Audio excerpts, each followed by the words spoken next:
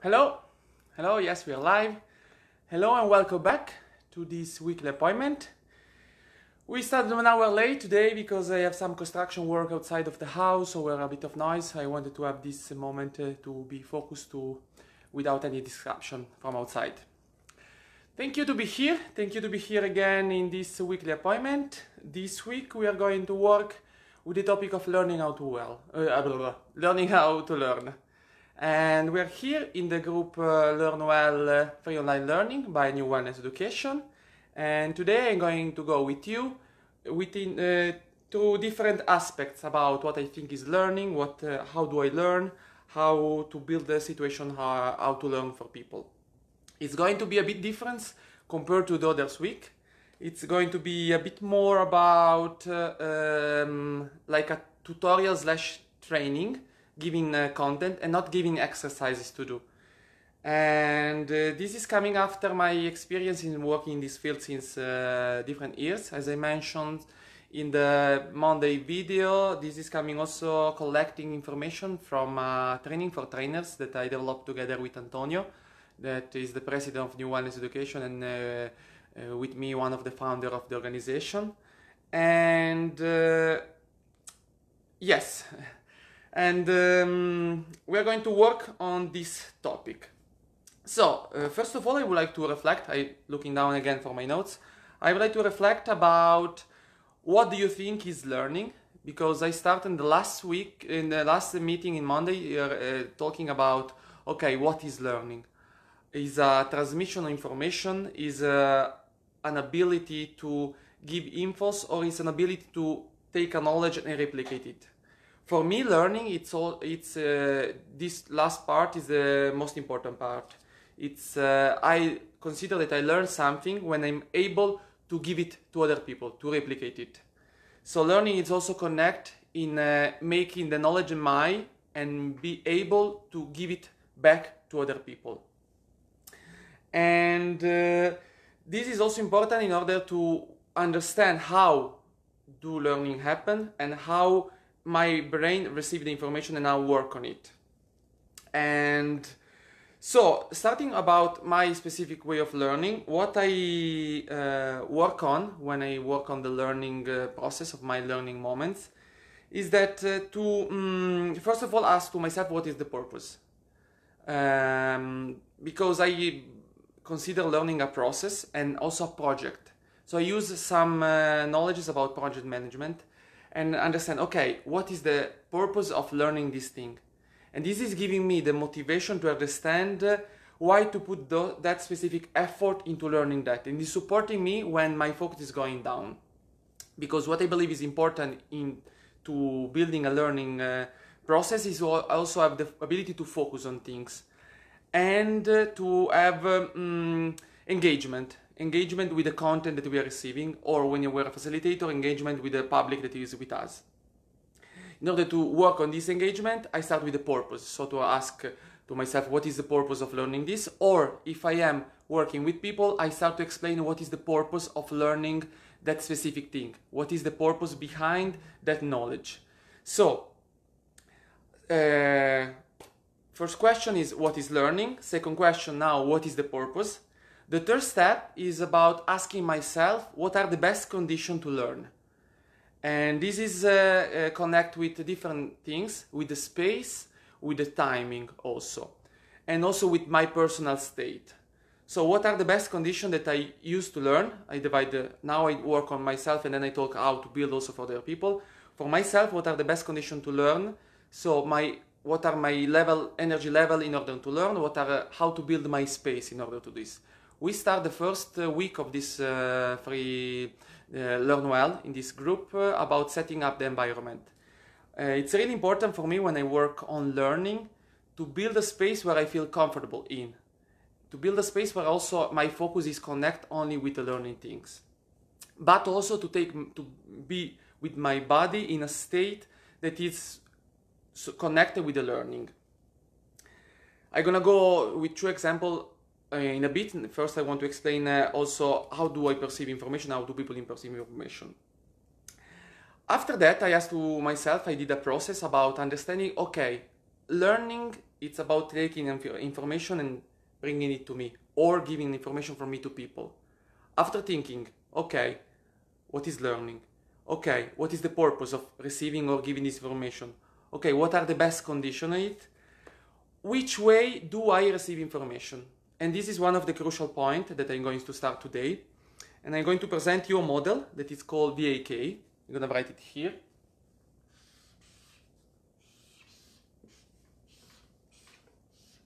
There is also R. Oh, you see a deposit. okay, VAK. Uh, v stay for visual. So some people receive information more in a visual way. This is also connect with uh, our culture, how the educational system is built up. So some people are used to receive and process and understand more information through visual input. Pictures, showing examples, so to visualizing that specific thing. And this is, uh, um, I believe all of us, we all have five senses, we all perceive information in different ways, some of us, it, it, uh, it has, according to this model, a way that prefer, that is more comfortable in receiving that information. Some people through visual. Some people, the A is through acoustic, hearing, listening informations. And I personally perceive, uh, mm, like more to receive and I work better in receiving information through auditory information. Some people, the K stay for kinesthetic. Some people uh, prefer to have into the learning process a movement part. Uh, um, an example not only in the visual but also moving. Engagement with also the body. I also sometimes have this. And the last part R that is um, connected with, with, with, with, the visual. It's coming, uh, as I mentioned before, through how our educational system is built up is through reading. That is different from visual, and I'm going to explain in a bit why. It's important to start with this about the learning to understand that people prefer to receive information in different ways. And ourselves, we, I personally, and I believe you, uh, prefer to receive information in different ways. Being aware about how do we receive information, do we prefer to receive information, it's important when building up our own environment for learning. To focus on what we prefer more. There are different ways to understand this. There are different questionnaire. I'm gonna comment below under this video, after the video, some links to take some questionnaire. One first uh, like way input to start to understand how we prefer to receive information is this one. I ask you to close a moment your eyes, close the eyes, and think about your best friend. And then open the eyes. Fast in that way. The question is, what is the first thing that you have that arrived to, my, to your mind? Was the face of that person? Was listening the voice of that person? Was a specific movement? Was a feeling? This can be a signal. What is your preferred style? According to this model, 70% of the people prefer visual, how it's built up also the education system. 10% acoustic, and the rest split between kinesthetic and uh, reading.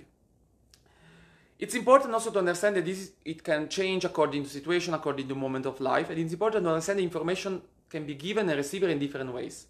In this way, more we include these aspects, the different aspects into a learning process, more we build more opportunities in order to receive or transmit the information. And I'm going to give you some examples. I personally discover that I prefer to receive information by listening. In the past, I was, uh, when I was going to the university, I was, uh, uh, people were giving me a lot of things to read, a lot of visual things, according to what was the models. And I was not, I was a bit struggling. Then I start to understand maybe this is it's not a problem. It's just because I prefer to receive information in different ways. And I start to focus more also in listening and I find out that this is working for me. So I'm building a routine, I'm building a structure where I learn and I put listening audiobook, listening podcast, uh, watching documentaries, but for listening the explanation about the things. And I connect with this with uh, other moments where I have would I feel good with my energy, where I'm focused. For example, what I did in this quarantine uh, to keep the learning process, I put a screen, a laptop, in front of the um, um, my bicycle on the um, the fixed bicycle to train inside, and I was wearing um, headphones to listen podcast or watching videos, but especially to listen the explanation while I was doing sport. So in this way, I was good with the body. I was in a moment that I was focused. So I built my environment in order to maximize the focus, and I put the auditory part in that. And this was supporting me and my learning process. And while giving information, it's important to be aware of this because when we I, now I'm switching the role, not anymore as a learner, but as a person supporting other people to learn. When we're uh, delivering activity, when for uh, I read a comment uh, in the previous video, when if we work as uh, educators, trainers, teachers, facilitators, when we are delivering a content, it's important to be aware about okay, when I give the instruction, first I read the, the instruction, so I explain with my voice, so I reach the person, the people who prefer to listen. Then I take, I put a flip chart or uh, some on the laptop on the screen. I share the screen. I show a picture and I show the text of the content. In that way, also the person, the people who receive, prefer to receive information in a visual way, they can understand, make it there. And in the also I use example by moving. I put feelings and movement into this, so I can recall to the mind of the people um, physical experience. So I take care about uh, kinesthetic. In this way, I build a more multisensorial experience for the participant. In that way, the information can be processed more in a better way to the brain. Because we have different levels of memory. We have short-term memory, long-term memory. We have a process and a, um, wave states of the brain. More we work on taking information in different ways, more we are able to internalize it. And uh, um, another part, I'm checking again my notes, another part to um, uh, get to, uh, ready to learn, it's uh, to understand what uh, we naturally do. So what is our uh, things that we are already doing in our life or what, what things that other people already do. And in this way, we can not separate the experience of learning through what is already there, but connect it. So for example, coming back to my experience uh, example of before, I usually do train by bicycle, so I connect to that experience another experience of learning. A second example that I use in my life, for example, being a person who like to listen, when I'm driving, when I sometimes I drive a lot because I live in a, a rural area with no public transportation, I have also taxi company. I drive a lot. When I drive, I put on, when I'm alone in the car and I can, some podcast. In this way, I connect an activity that I already do with a second one. And uh, it's not relevant that I'm focused to really only in the listening because I'm driving, because I'm cycling, but it's a, I start to take, to internalize that specific concept in a, a different way. Then what I also um, uh, suggest, what I invite, coming back to my first definition of what is learning, is the ability to replicate it. And this is the crucial point. There, is a, there are many exercises about that. Uh, there is the, um, it's called ex explain it to a child. So in order to understand if we have that knowledge, it's important to be able to send it to another one. So when I feel able, when I feel that I internalize the topic, what I do, what I organize, I call a friend, I talk with my girlfriend, I talk with my friends, I, I organize lessons, I work on a way to transmit it. In this way, I process the information in my brain and I re-elaborate it and I send it back. And in this way, it's passing from the short-term memory to the long-term memory. This is really important to understand about the learning process while organizing an, act an activity. If you ever participate to a youth exchange or a training course, you maybe you remember that at the end of the activities, many times there is the moment where people, groups share their job. This is not uh, a way to show off or this is not a way to punish people. Sometimes people feel like this, but this is a way to conclude that specific learning process. So, by sharing it to others, we make it ours. We deconstruct and reconstruct the information in our brain and we put it out in our own words. And this is a crucial part of the learning process. This is also why the educational system have tests, have uh, interviews, have way different ways studied in order to test not only to see if the person know, but to see if the person can replicate that knowledge. Because only when the person is able to replicate that knowledge, that, that knowledge is coming into the long-term memory and it's there to be used again. So to recap, starting from the beginning, what is learning? My idea of learning is when we are able to replicate a knowledge, and information, to transmit to other people, not only to memorize it for ourselves, but to explain it to others, maybe to connect with different topics. And while starting organizing the learning process, I asked myself, what is the purpose of learning? What is the purpose for me to learn new things?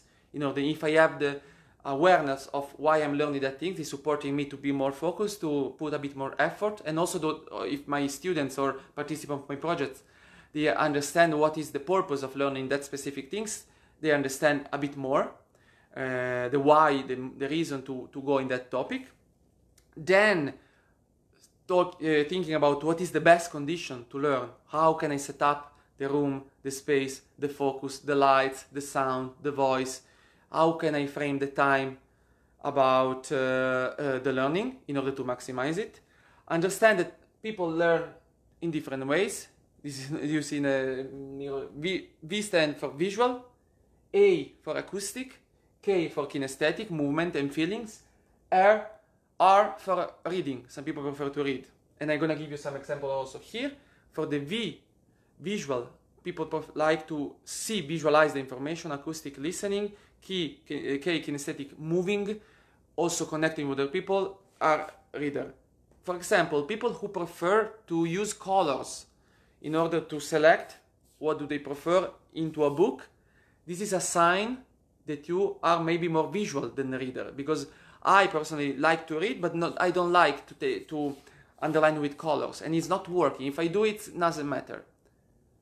Because when I read, I listen to my internal, uh, my internal voice, so I come back to the acoustic because I prefer to learn to acoustic. Then, how to make it connect with something that is already there. So how to take an activity that is already there, that is already engagement, that is already bringing engagement, that is already bringing fun for the people, and how to connect it with the learning, not to separate it. My example is a bicycle, uh, in, the, training a bicycle, listening podcast, in the car, uh, listening podcast. By working with people is how to connect activities that are engaging with learning things. So to give metaphors, examples.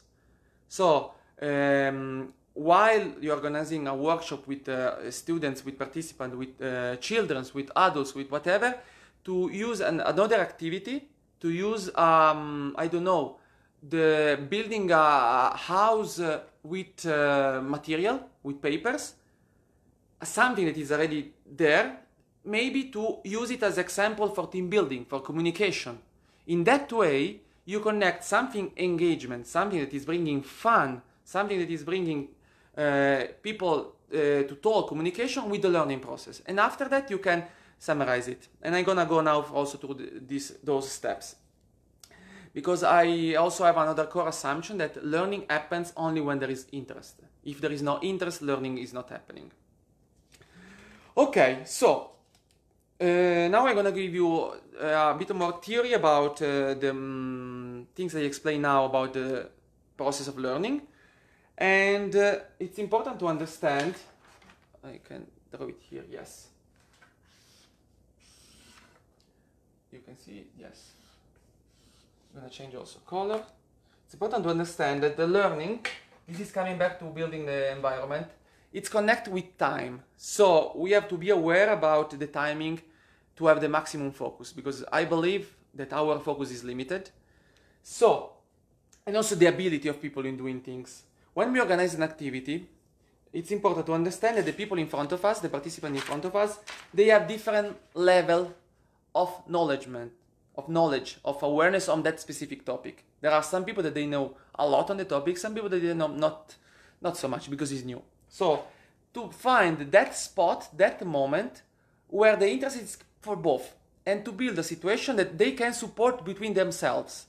So you as a trainer, facilitator, you are not the one who is uh, giving only content, but you are giving the space for the ones who have more knowledges to share it to the one who have less. And it's important to understand this is people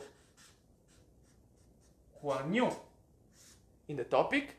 These are people with medium, medium knowledge. This is people with good knowledge. So the, the learning process for the people with, that are new in the topic is the maximum in that moment. The learning, this is the learning pro process. And it's slowly, how much do they learn? It's going down because if they are already good in the topic, they are learning less.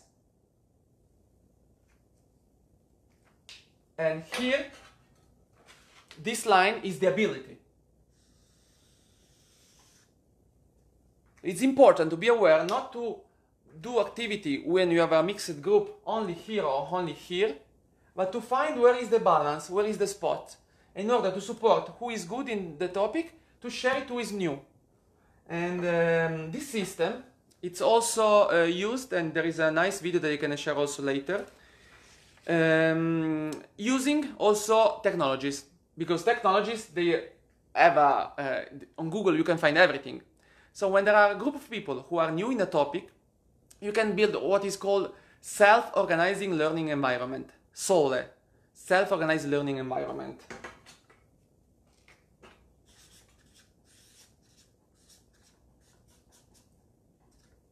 In this way, uh, you divide people in groups of three or four people. It's important to have the group, and I'm going to explain later why.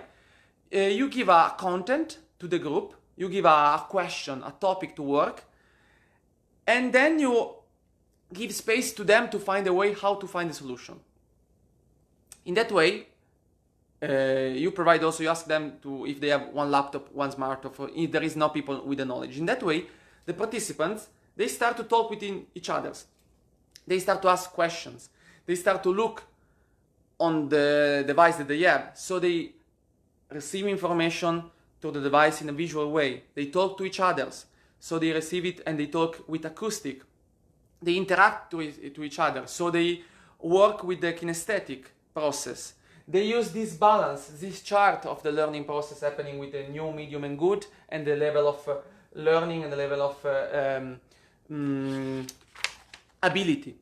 In this way, with this system, you can build space where people can learn by themselves within themselves and can optimize according to all these theories. And it is also connect with um, a model that we build up before making this group, uh, this specific Learn Well free online learning. We use a model called the Kolb cycle. I'm gonna turn this paper. I'm giving a lot of content, but at the end of it, I'm gonna share all the information in the comment.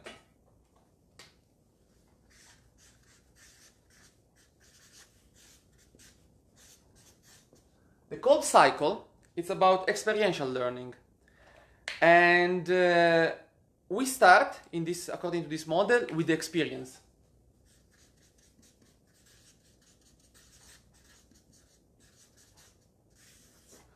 So, coming back to the example of before, uh, we connect an experience, a metaphor, with a learning process.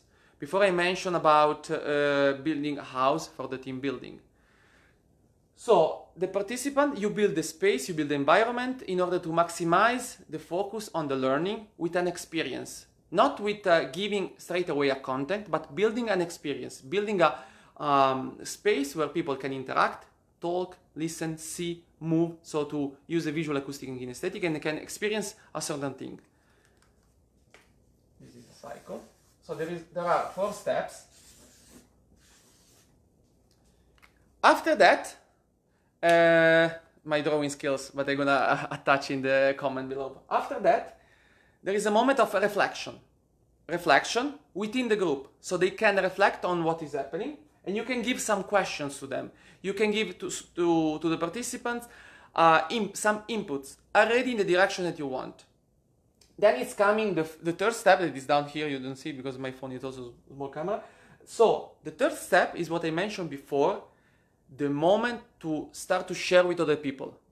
So after the experience, questions, reflection, the process, to externalize it, to externalize what is the learning of that specific activity. So to be able to transmit to others. And the third step, before to coming back to experience, is the moment to reframe it. To think about, okay, how this experience with this specific input, this question, this reflection, this sharing, how can I reframe it in order to be able to have another experience in the future to learn again. And this is how we build up this group. So we are giving a mission in the beginning of the week. We are giving experience. So you, ex- you can experiment, you have the possibility to, exper- to experiment and experience. Then we give a, a webinar. Again, webinar in the mix here. You receive some experience, some activity that you can do, and you, we start to put some questions, some questions on the specific topic, something. Then we we find uh, the third way about um, uh, reflection. We um, using this kind of technologies that we are having in this moment, we we do a guided reflection. So we invite the guest, we reflect with ourselves about the week. So it's the third step on the reflection, and we internalize and we explain, and we give the open space of the weekend. We already give to, to you the topic of the next week in order that you can start to okay that experience happened, that uh, input came that reflection happened, so I internalize the topic and I'm getting ready for the new experience. And this is a cycle that is connecting with what I told before. Okay.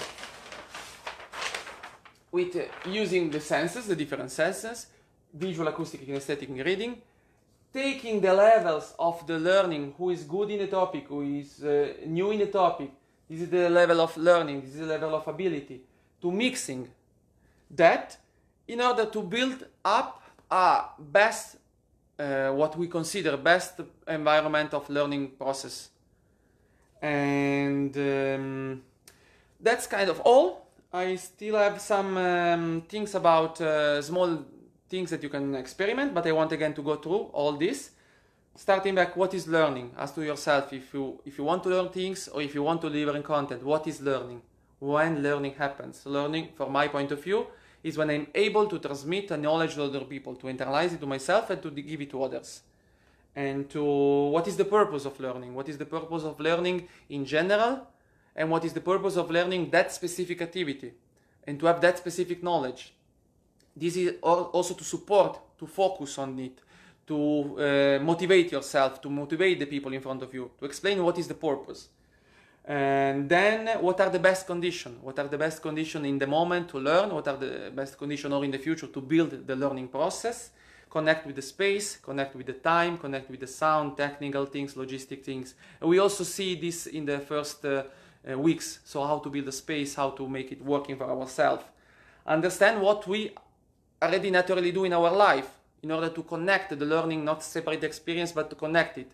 This is also um, called uh, anchoring. So to connect, to anchor the learning process to another thing that we like, that we enjoy. Because this is coming from the core assumption learning happens when there is fun, when there is interaction and engagement. About timing, how to set up the time, how much time do we are able to focus. And for this, I want to open uh, things. There is a specific technique that I find in a course called Learning How to Learn in Coursera that I'm gonna also touch this in the link it's called the Pomodoro technique. Uh, why Pomodoro technique? The Pomodoro is a, a, simple timer with the shape of a tomato. Pomodoro is a tomato in English. And you set up 20 minutes of time. So, because learning happens also when there is a regularity, when there is a habit of doing that thing. In order to get used to have 20 minutes where you know that you focus on the things, you have no other distraction. This is a good support trick. Close this uh, thing. Then coming back, how do we learn? Visual, acoustic, kinesthetic, or reader? What is our preferred style in order to integrate it? We understand that participants in front of us, they have different styles. So to build something that can reach everybody, to build systems, to systemize the learning process when we are groups, in order to be aware that in a certain knowledge there is somebody that is new, somebody that made you knowledge, somebody that is good, in order to give for all of them and also to make them support each other's. This is the line, the blue line, this line is the line about learning. If I'm new in a topic, I learn a lot. More I know, less I learn. This is about ability. find that spot, that moment where they can support each others. Then there is the self-organized learning system. It is a really beautiful uh, way to support people to learn. So to build a system of people, they, they have mixed knowledges to provide them, to ask them to have one laptop or one smartphone, to give them a topic, so to ask them to work in a group, so they can talk to each other, internalize, explain, find also on the net or uh, in some uh, slides that you can provide also visual content. Then the last thing is about a full cycle of experiential learning. That is the um, theory behind that we use to build also the experience. It's called Kolb cycle. That is starting from experience. There is the um, reflection with input. There is the sharing with other people, and then there is the internalization and the reframing in order to coming back to the experience. Okay. Well, a lot of content, I know. It was uh, content that we sometimes we give in a full day to go deeply in all the topics, but I wanted to share with you all this just to start to give uh, input about what can be behind learning and to mention three things that for me are really important. The VAK, the self-organized learning system, and the Kolb cycle. I'm gonna give links in the chat. Those tools, they really change a lot my way of learning for myself my way of organizing activities for other people. And the last thing that I want to add is that really strong things about learning, uh, especially when you want to build it for yourself or for people. Make it playful. It's really important to make it playful, the learning moment, because uh, it, um, there is, I don't know, somewhere this assumption that uh, to learn is boring. But my point of view is that to learn things is really a beautiful moment, a playful moment. I want to uh, share with you, I want to invite you to build moments for yourself to learn or to other people to learn that it's playful, that it's like a game, to gamify it, to uh, give uh, rewards to people, to give prizes to yourself, to enjoy, to um, um, celebrate the successes of learning, to anchor this good vibe, this good mood into the learning. Because our brain is also working in different ways, waves. And there was a, um, actually in that course, a new thing is, uh, I forgot, um, some things connect with about learning before go to sleep, because we're in the moment it's more uh, uh, getting ready to relax. And by the way, connect with the fun part of the learning and building uh, metaphors, building a place, building games, building environments where the learning is playful. This, I believe, is the key. And I hope it was supporting for you uh, watching this.